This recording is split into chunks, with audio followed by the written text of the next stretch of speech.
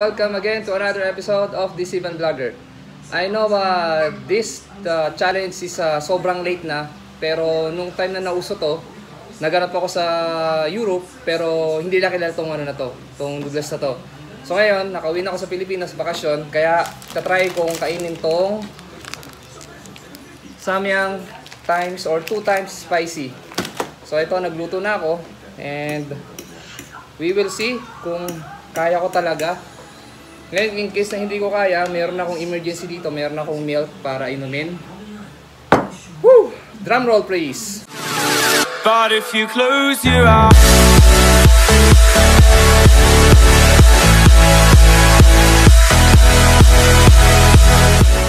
Ready? Set. Set. Set. Go.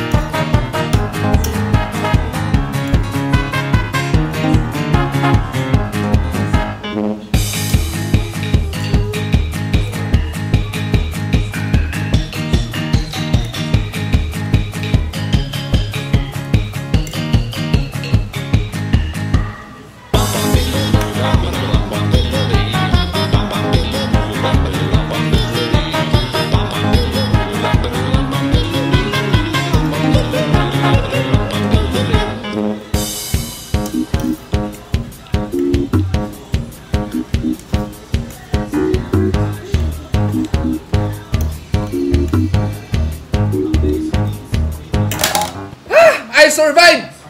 Woo! Okay, see you next time in my vlog. Cut, medyo ano na, manghang, ayoko na.